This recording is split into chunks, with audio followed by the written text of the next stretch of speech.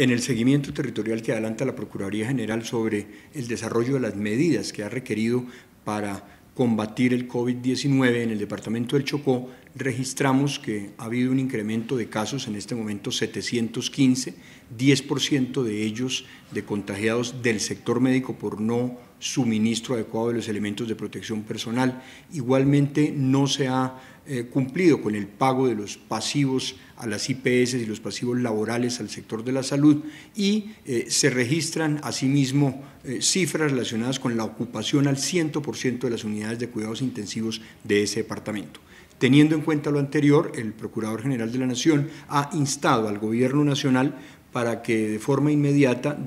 disponga el traslado de una comisión de expertos que haga presencia en el departamento y coordine con las autoridades territoriales la adopción de medidas inmediatas orientadas al fortalecimiento de las medidas de aislamiento para la prevención del contagio, la pronta instalación de capacidad adicional frente a unidades de cuidado intensivo en esa región del país y la disposición de recursos para que se cubra la deuda que por más de 18 mil millones de pesos afecta a las IPS para el pago de pasivos laborales en el departamento del Chocó.